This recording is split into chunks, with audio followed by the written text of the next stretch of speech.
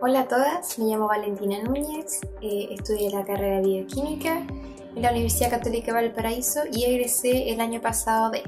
en un grupo de investigación del Laboratorio de Bioquímica de Sistemas de esta universidad y nuestra investigación se enmarca en la biología del desarrollo, es decir, que estudiamos procesos de embriogénesis de distintos organismos y particularmente nosotros trabajamos con insectos como modelo de estudio.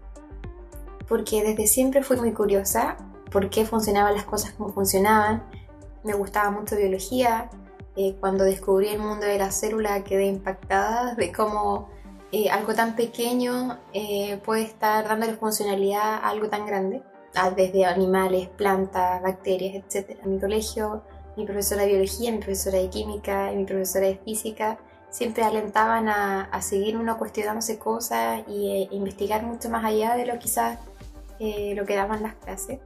si uno tenía preguntas eh, o quería profundizar en un tema, que lo hiciéramos y eso ahora se vuelve algo esencial en lo que es la ciencia. Toda la parte teórica y lo que uno investiga y lee y que también coincide tanto en clases como desde el colegio hasta ahora uno profundiza en la carrera. Cuando eso coincide con los resultados de los experimentos que uno realiza es como un momento mágico y que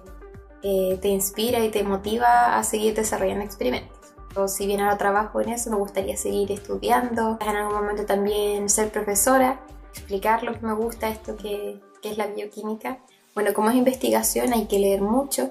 Uno hace desde la parte de informática, que es algo más computacional, experimentos, eh, sección de huevos, con tinciones, con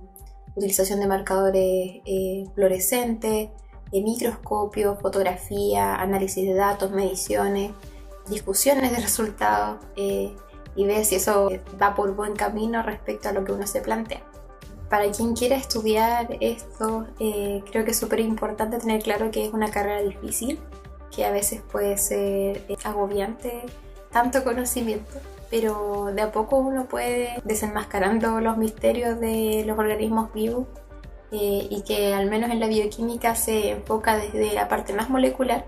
hasta la parte más grande en, en sistema. Que si les gusta algo, que, algo les apasiona, que sigan adelante con eso, que si son curiosas, eh, que le den riendas a esa curiosidad, que no tengan miedo en hacer preguntas porque eso es lo esencial de, de la ciencia y que si desean meterse a la ciencia, ya sea química, biología o física, eh, sepan que las puertas están abiertas a ustedes, eh, que se pueden apoyar siempre sus compañeros, compañeras, eh, hacer hartas dudas, leer por su cuenta y que quizás siempre recordar el por qué decidieron estudiar lo que, lo que estudiaron. Es una, siempre una buena motivación para, para seguir poniendo el empeño y eso, bienvenidas a las que quieran sumarse, futuras compañeras científicas. Espero que les guste tanto como a mí todo este mundo maravilloso de la ciencia.